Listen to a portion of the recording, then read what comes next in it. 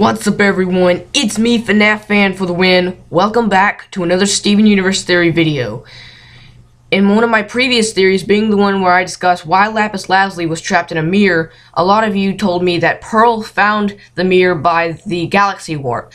I'm here to give you a brand new theory on what I think actually happened to Lapis Lazuli, thus leading up to her being trapped in a mirror. I'm here with a brand new, new and improved theory. I hope you guys all enjoy, and let's dig into this brand new Steven Universe Lapis Lazuli theory. Let's go. Now, let's go back to the Gem War. Lapis knew what Homeworld was doing to the Earth was terrible and evil.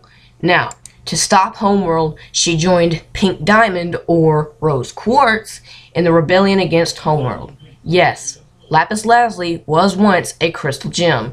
After winning the war, Lapis was feeling homesick. She wanted to go back home. So, in attempt to flee Earth, she went to the Galaxy Warp. But Garnet, Amethyst, and Pearl all met her there, prepared to stop her. Angered by her attempt to go back to Homeworld, they poofed her and put her in a mirror. But you might be saying, what got my theory wrong last time was the fact that Pearl said they found the mirror by the galaxy warp. And, well, that was a lie. You see, it wouldn't be the first time they lied to Steven. They didn't tell him that they, that the monsters they always fight used to be gems that became corrupted and that they were just like them. And they also never told Steven about the war where countless of his gem ancestors were smashed into pieces. But they don't tell Steven these things because they don't want him to think anything less of the gems. And they don't want him to th think that they are evil in some way. When Steven set her free out of the mirror, she once more wore the diamond on her clothing. This is because she was betrayed by her fellow crystal gems.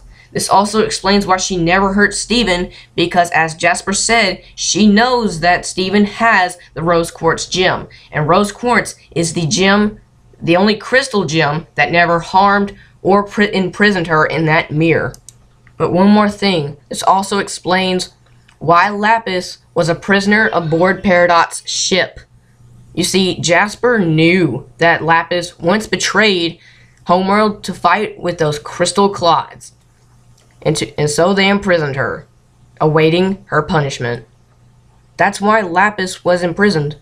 Do you really think if Lapis was a veteran homeworld warrior that lost the war that they would imprison her? No, she was a part of the Crystal Gems, and that's why she was imprisoned by Jasper. So guys, what did you think of this new Lapis Lazuli theory? If you guys enjoyed it, make sure to like and share this theory. Subscribe to my channel for more Steven Universe and Pokemon and FNAF theories. And I'm FNAF fan for the win, and I'm out. I'll see you guys next time.